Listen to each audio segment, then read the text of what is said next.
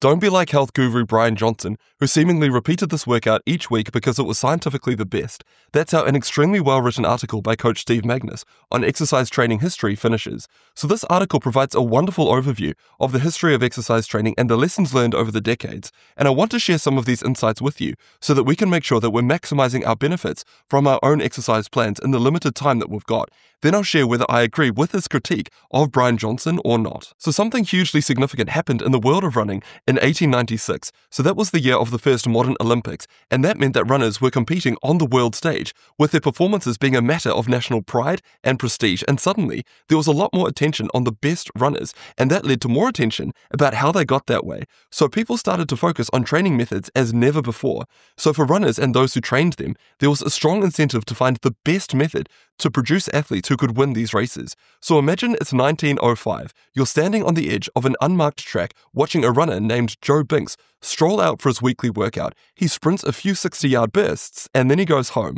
A few miles away, another champion called Len Hurst trudges through the endless walks, insisting that patience and plodding miles are the only way to build a champion. So, two men, two extremes high volume, low intensity versus low volume, high intensity. So, who's right? Well, at the dawn of the 20th century, nobody knew. There were no textbooks, there was no GPS watches, there was just opinion, ego, and gut instinct. Fast forward to the 1920s, and a skinny Finnish kid named Paavo Nurmi looked at the giants of his era and wonders if there's another way. So instead of picking a side in the volume versus intensity war, he combines them. So long walks in the morning, steady runs in the afternoon, and short sprints at night. So to his competitors, this looks a bit crazy, but the medals, they start piling up. So maybe a more balanced approach is the way forward. Now, in this period, we see a rise of an emphasis on intervals, but there were still disagreements about the ideal mix. So, how short should the intervals be? How many should we do? What intensity level was right? And efforts to answer these questions led to a revolutionary development. One approach to the problem was taken by a Swedish coach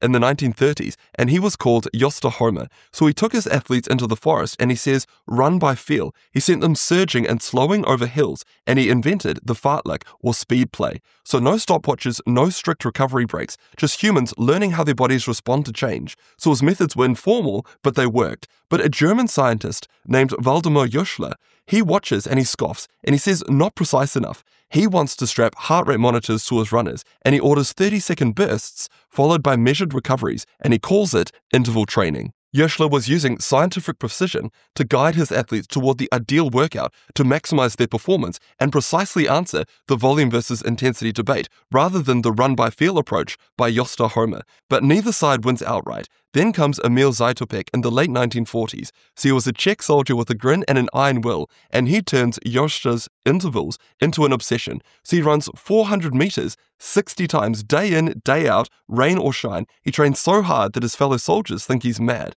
But then at the 1952 Olympics, he wins the 5K, 10K, and marathon, leaving the world speechless, and suddenly everyone wants to know a secret. Then another coach, Franz Stampfl, thinks that Zátopek has missed the point that intervals should be few and fast, so he designs workouts like the 400 meters but only 10 times and he runs them at blistering speeds. His pupil, Roger Bannister, uses them to crack the 4 minute mile, and again, success breeds imitation. The pendulum slams towards intensity. But in a small New Zealand town, a milkman named Arthur Lydiard, he watches this craze and he worries. His own lungs burn when he tries these short, sharp sessions, so he thinks that there must be a better way.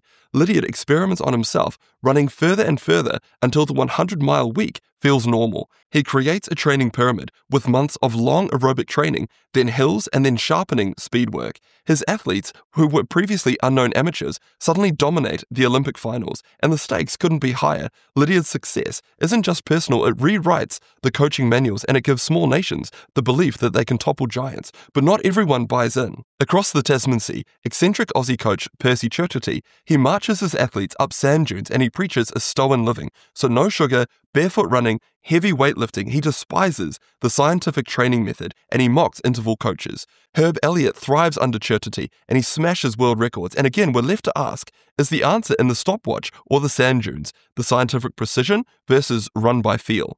By the 1960s, another thread appears. So in Oregon, a university coach called Bill Bowerman, he reads Lydiard's books and he travels to New Zealand.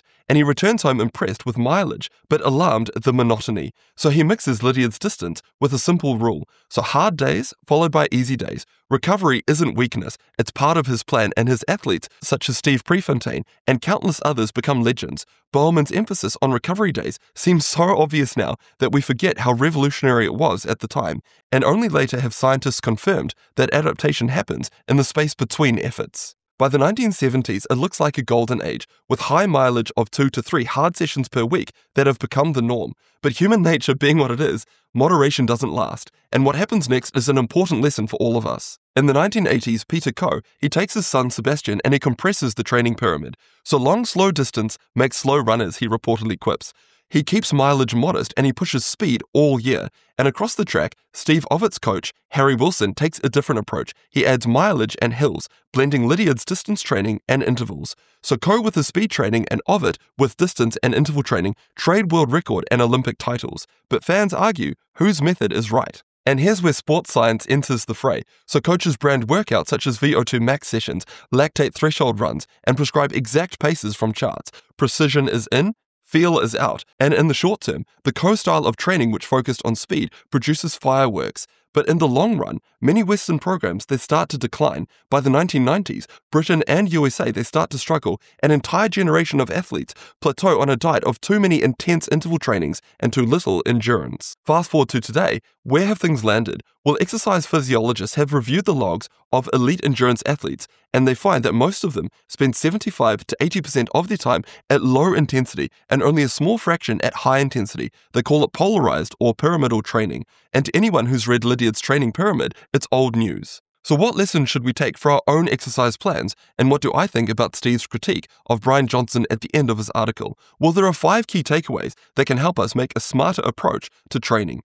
So, first, we need both volume and intensity. So, early on, there was a debate about which was the best for creating great runners, but that debate has faded over time as we found out that peak performance requires both. They accomplish different things, so we need a mix of exercise types and intensities to maximize our gains. And we can see the practical importance in studies of those who aren't elite athletes. So, for example, a meta analysis looked at different types of exercise in overweight adults. They found that exercise programs that combined resistance training and endurance training had the largest overall impact on a broad range of health metrics, so that included body composition, cholesterol levels, blood sugar regulation, and blood pressure. Second, recovery is an essential element of exercise. It can sound counterintuitive because many of us think that the harder that we train, the greater benefits we'll see. And I've had patients who dive into high intensity exercise every day, but we've learned that that isn't a smart strategy. Exercise stresses our bodies and it gets stronger in response. So, in resistance training, for instance, our muscles sustain minor damage, but our bodies need adequate time for these repair processes and other responses to exercise to play out. So, exercise without sufficient rest will undermine our gains. So, personally, I aim for about two high intensity interval training workouts a week, and the rest of the week is dedicated to other types of exercise. The third key takeaway is that guiding our training using precision methods or instead relying on a more intuitive feel, both of these strategies can work. We can be the person who tracks our heart rates with a smartwatch and adjusts our workout accordingly, or we can use a rough guideline like run at a fast pace until you're feeling winded and then switch to a slower pace for a few minutes of recovery. So I like the run by feel approach because I like to delete and simplify where possible, but that's my own personal approach. Fourth, there is no single best workout. It's tempting to look for one though. We all want to maximize the benefits in the limited time that we've got for exercise, and that's what draws us to these health influencers and the latest version of the perfect workout. And if you know anything about Bryan Johnson, you know he's always on the lookout for the scientifically best approach to health optimization. So he's included the trendy 4x4 minute workout in his routine, which online is touted to be one of the best scientific workouts. And in fairness, the workout protocol that he gives on his site is fairly nuanced, so I don't agree with this particular critique of Bryan Johnson at the end of of Steve Magness's article, but the tendency online is to identify the ideal workout and stick with it. But as history of elite athletes shows us, that approach is misguided. Whatever workout we're doing, our bodies will naturally adapt, and we need to adjust our routine to continually see gains. Growth takes variety. Finally, everything works to a degree. Does loading up on volume at low intensity improve our fitness and health? Yes. Does steering towards high intensity, low volume sessions help? Also, yes. Does doing whatever the latest health influence has recommended online help? Probably yes as well. And here I'm thinking particularly of when we're sedentary. So for many, the biggest challenge is simply to start moving to go from inactive to active. So according to data from the World Health Organization, about a third of adults worldwide don't meet the recommended levels of physical activity. And that share is growing, and that's crucial to grasp. Because moving from sedentary to getting in at least some movement pays huge dividends. So consider these numbers. A study of non exercisers used wearable devices to track how often they engaged in short bursts of vigorous activity during the day. This included things like climbing stairs and unloading groceries. So those who got in just six minutes a day of this type of activity had an incredible 38 to 40% lower risk of cancer and all cause mortality compared to those who got no exercise in.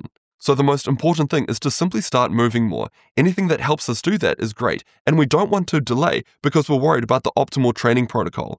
Exercise snacks, for example, is a great way to get started, and it's something that I do both at the clinic and at home when I'm writing YouTube scripts or working on rapamycin clinical studies. Then, moving forward from that, if time is limited, it's generally better to focus on higher intensity exercises, so long as they're done safely. But once a patient has got a bit more time to exercise, then adding in lower intensity workouts, such as zone 2 training, makes sense. But there's one last thing that I tell my patients at the clinic, and that's the importance of power training, which is a type of exercise that many people leave out. So, power is distinct from strength, and it has to do with how quickly we can generate force with our muscles. So, interestingly, it declines more quickly than strength as we age, and it looks like it's more important when it comes to maintaining physical function. Moreover, a significant recent analysis looked at about 4,000 individuals over a 10 year follow up period, and the findings suggest that power is a stronger predictor of mortality compared to strength. So, power training involves combining strength and speed. So, in one study of exercise of older adults, for instance, participants used power training approaches.